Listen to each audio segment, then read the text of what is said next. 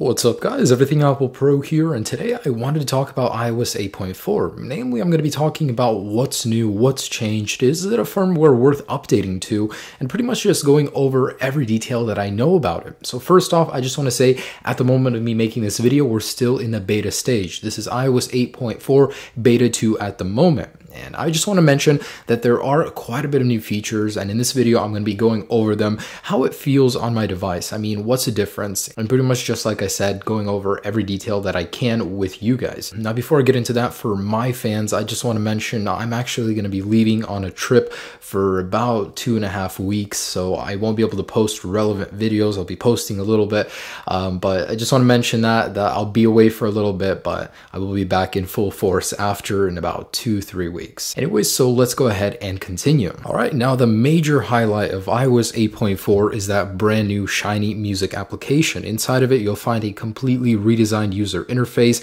and it's much simpler. So Apple has done away with the five categories. Now it's a three categories with my music, playlists, and radio. It's extremely simple, very effective, and it looks good. Now, besides this, and I'm going to go into detail in this in just a second, there is very little that's changed in iOS 8.4. If anything, it feels even buggier than iOS 8.3 on my other device. Now, that of course is because this is still a beta, so you can't judge that, but it doesn't feel right. But of course, Apple will probably, uh, you know, get to all of that. Anyways, so inside of the music application, the redesign is absolutely beautiful, very beautiful and effective. So up here, you have your recently added. Of course, you can go into here and sometimes, yeah, this happens. It's just a little graphical glitch. The album artwork disappears. So uh, I like the fact that you can see all your recently added right away over here. And if you actually scroll through, you'll notice that it's very fluid, much more fluid and easier to go through a large amount of music rather than in iOS 8.3. Let me just show you as a comparison. It stutters. So over here, I've got the same music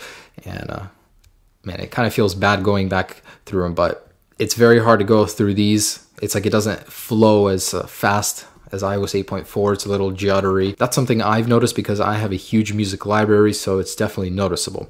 But anyways, the organization of the music, the art, it's very beautiful inside of this application and it's very functional as well. So there's a new mini player. So let's say that I'm playing something and I want to, you know, make it disappear, it has a mini player option down here. So when you actually click on this guy over here, it'll bring up the actual now playing page. And if you actually just want to get rid of it, just slide it down really simple. Now, the thing I like about it is that when you click a song, it doesn't take you to the now playing page like it would in iOS 8.3 it doesn't interrupt your experience. It actually just puts it in a little mini player down here, which then you can subsequently drag up or just click and it'll take you here. It's very beautiful. The artwork now takes up the full top page and it's really nice. It just looks beautiful. I can't say that enough because I absolutely love it. It's a very clean redesign.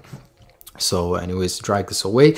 And over here we have our playlists view. So of course you have your playlists and there's more customization options for the playlists. Now, if you want to edit a playlist or create a new one, you can add a title and an actual thumbnail. So it's more customizable than it was before in iOS 8.3 or before. So the playlist view is really nice. And I forgot to mention over here, you can actually organize all the music to either display songs or playlists. There's several categories that you can choose over here, which is a nice touch because that way you can cycle through them easier. On iOS 8.3, there were different pages for that. So anyways, radio now has a beautiful redesign as well, bigger icons, and in the latest beta, they're actually matched to the color of the radio station. So it definitely looks great. It's very effective.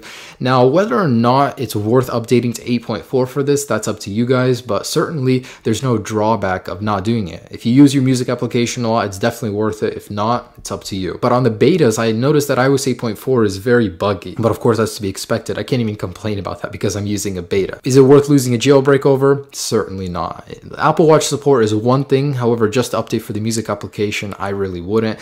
There's really not much incentive for me to do that. Battery life seems a little bit worse. If anything, pretty much the same, but it is noticeably a little bit worse for me on my iPhone 6 Plus. Now, I just want to mention this will most likely be the very last iOS update period. We will not see any more iOS 8.5 or 8.4.1 update. This will probably be the very last one. And then we're going to see iOS 9 roughly in about two months, uh, final release at the end, uh, you know, around September. So iOS 8.4 is going to be the last firmware. If it looks good, the music application is nice. Other than that, there's not much features. Of course, the regular bug instability fixes. So I'm going to have a comparison video of the speed very soon. I'm actually curious to see how iOS 8.4 changes the experience. So when will iOS 8.4 be released? It's very likely it will be released in May. So end of May, we're likely to see about three to four betas of it before we uh, get a full release and we're already on beta 2. iOS 8.3 saw four betas.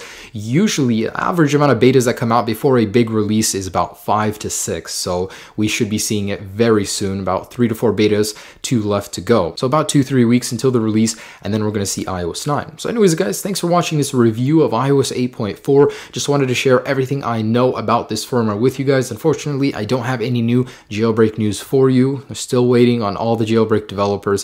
Thanks for watching this video, guys. You will enjoy iOS 8.4, especially when the final release is out. It's going to be a very great firmware. The music application is very nice. I absolutely love it in the newest firmware. So once you do get it, enjoy iOS 8.4 and have a great day, guys. Peace.